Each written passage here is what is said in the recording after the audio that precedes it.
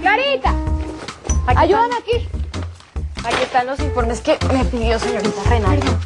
Ay, mira, este, por favor, búscame un café que me, que me, que me va a explotar la cabeza.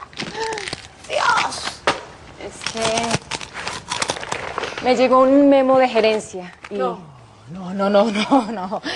No me digas, a ver, un memo de gerencia y bla, bla, bla, bla, bla, X. No hay presupuesto para el café. sí, ya le habían dicho. No. Me lo suponía. Pero tranquila, tranquila que esta empresa no va a poder conmigo, así que yo me busco mi café, ¿sí?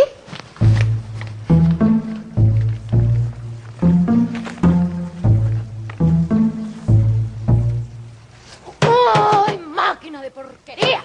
¡Ay, ay! Devuélveme mi dinero o dame mi café. Ay, que a ti también te mandaron un memo para que no me sirviera.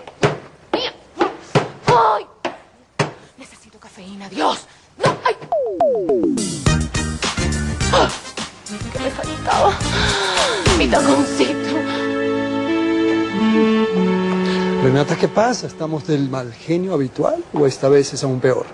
Ay, pues fíjate que nada que una pataleta no pueda resolver. Mm, ¿Qué le pasa a la máquina? No funciona. Hace unas semanas lo mandamos a arreglar, pero estas cosas no duran nada.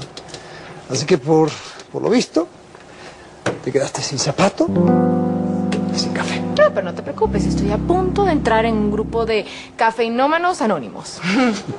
Así que ya. En mi oficina yo tengo un café de importación en grano que está delicioso. Si quieres, vamos.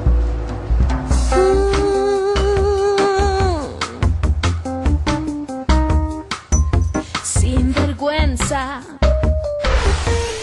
Sin vergüenza.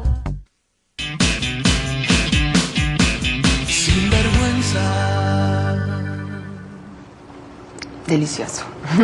Renata, vi tu nuevo escritorio. Es bastante ¿Ridículo? eh, funcional. Ah, bueno, sí, para un niño de siete años, pues sí, súper funcional. Dios. ¿Sabes que me voy de mi casa? Definitivamente. Mm, corrección. Te echaron, definitivamente. Porque si por ti fuera, Raimundo, tú seguirías en tu linda casa con cancha de tenis, con piscina. No sé, hasta el fin de los tiempos. ¿O me equivoco? Aunque no lo creas, no es tan así. De hecho, Meme me pidió que te echara de la empresa para aceptarme de vuelta.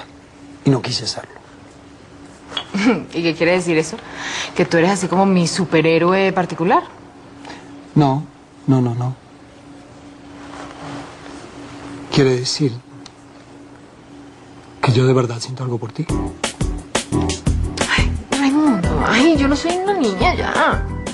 Además, tú sabes muy bien que yo jamás he necesitado que tú me digas que me quieres para acostarme contigo. ¿Mm? Estamos claros, ¿verdad? Bueno, gracias por tu café. Mm. Está muy rico, pero ahora tengo que regresar a trabajar en, en mi super escritorio funcional.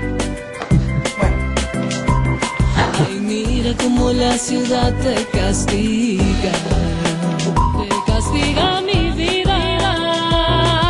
Mira cómo se parece mi vida a la tuya cuando te veo pasar.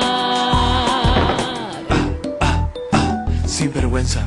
Ah, ah, ah, ah. Sin vergüenza. Ah, ah, ah. Sin vergüenza.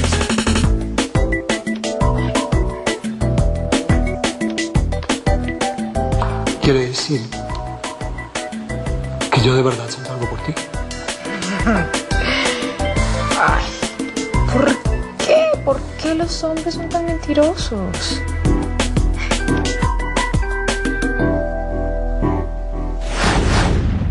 Mm, lo más loco que un hombre me dijo para acostarse conmigo fue que, mm, ah, que nos conocíamos de vidas pasadas. ¡Qué estúpido! Es increíble las mentiras que inventan con tal de tener sexo con una. Yo, ¿Por qué no? ¿Por qué no dicen lo que quieren y ya? Ay, amiga, porque te ofenderías. Ah. bueno, entonces este tipo me dijo que, que habíamos sido amantes en la India. Entonces que yo era una princesa y que él era un... ¿Un eunuco? Ay. En palacios árabes. Ay, Por eso digo que lo único que estaba era caliente. No, no, no. Que era un inculto y que estaba cayendo. ¿Por qué mejor no dicen te quiero, que es más fácil? Aunque no sea verdad. Ay, no, Fernanda, a mí nunca me han dicho te quiero para, para casarse conmigo. Más bien dicen otras cosas como estoy separado de mi mujer, eh, vivo con mi mujer, pero duermo en el cuarto de los niños, claro. Mi mujer no me entiende. No, ¿y sabes cuál es el peor? Vivo con mi mujer y con los niños, pero ella está embarazada. de- Yo, para tener sexo, lo único que necesito es pues tener el tipo que me guste y que hable lo menos posible, porque cada vez que hablan lo que dicen son puras mentiras.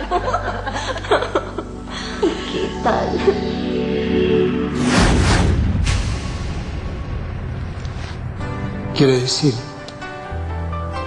que yo de verdad siento algo por ti.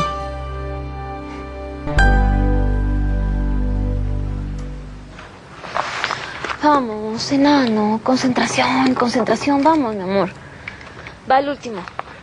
Y dice, si un reloj se adelanta tres séptimos de minuto en cada hora, ¿cuánto se adelanta en cinco horas?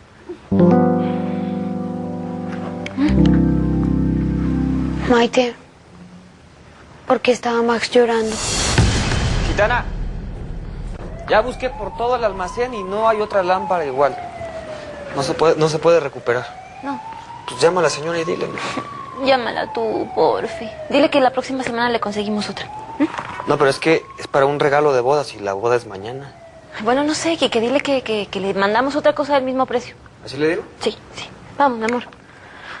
Vamos. Max se puso triste por mi culpa.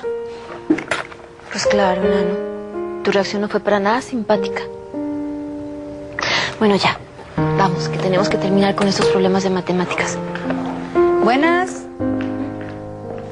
Señora, mire, le hablamos aquí de... ¿Qué? ¿No han terminado con los estudios? Sí, hemos tenido una tarde bastante accidentada. Vino Max. ¿Y? Y no ha terminado de estudiar, eso. Bueno, pues vamos a tener que conseguirle un profesor particular. Alguien que le ayude a estudiar. Yo no sé dónde lo vamos a conseguir ahora. Mamá, sabes perfectamente que nosotros no tenemos dinero para pagar a un profesor particular. Perfecto, pues entonces le decimos. Porque como está tan interesado en Mamá. ayudar. Si quieren, yo le, yo le ayudo a estudiar. ¿Qué? Yo hago unas maquetas así de grandes, de cuatro pisos, con escala perfecta. ¿Usted cree que dos fracciones me cuestan trabajo? Para nada. Vamos a tu casa y, y- y yo le ayudo. ¿Ah, sí? ¿Sí? ¿Y el rojo que te sacaste en la maqueta?